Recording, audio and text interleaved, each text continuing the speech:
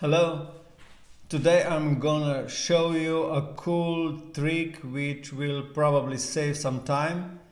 A lot of people now asking me about this OID number. This new number is that of PIC number and you need this number if you want to prepare mandate letters and sometimes you cannot get it in the right time so you can find it yourself. This is very important. You can find it yourself just you need to type this web address bit.ly find OID the same way as it, as it is here and you will instantly get this uh, web page.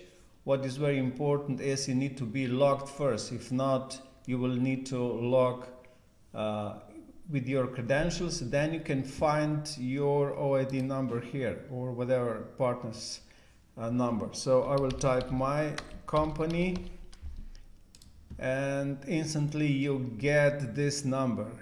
So, so this is the easiest way to get your OID and proceed with mandate letters and in no time.